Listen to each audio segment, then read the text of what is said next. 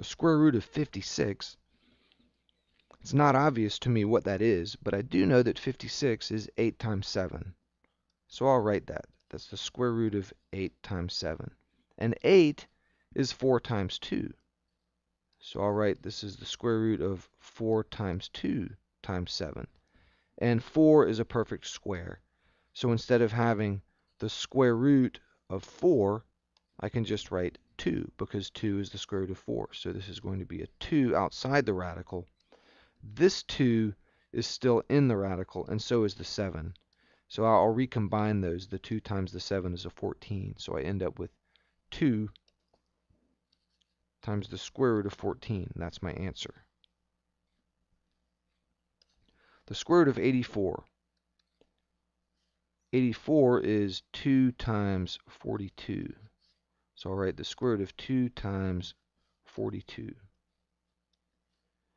And 42 is 2 times 21. So I have the square root of 2 times 2 times 21. Now the 21 can be factored into 7 times 3, but that doesn't help me. There's no perfect squares. My only perfect squares are right here. This 2 times 2 is a 2 squared.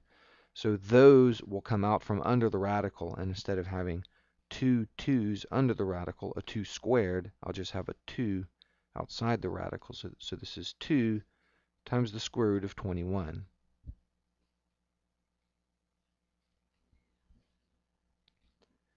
Now down here, the 4x squared, square root of 4x squared. Well, the 4 is a perfect square, so it pops out from under the radical and just becomes a 2.